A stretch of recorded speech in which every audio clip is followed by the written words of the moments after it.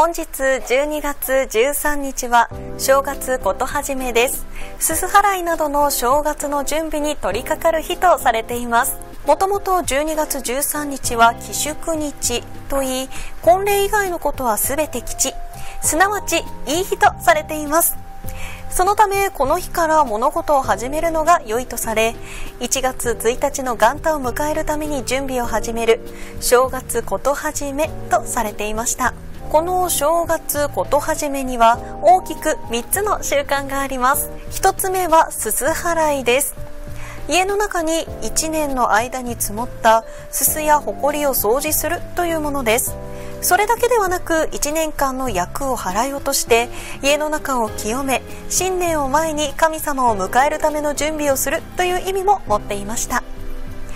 2つ目は松迎えです。かつては年神様を迎えるための門松やおせち料理を作るための薪など正月に必要なさまざまな木を山から切ってくることを松迎えと言いました。今では松を採取したり薪を集めたりすることもなくなりこの言葉自体が今ではあまり使われなくなってきています。そして3つ目は年男です。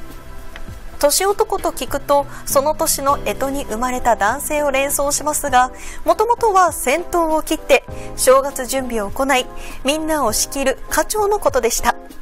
ただとても大変な役割であることから時代が進むにつれて課長ではなく長男や奉公人など若い男性が年男の役割を担うようになりました。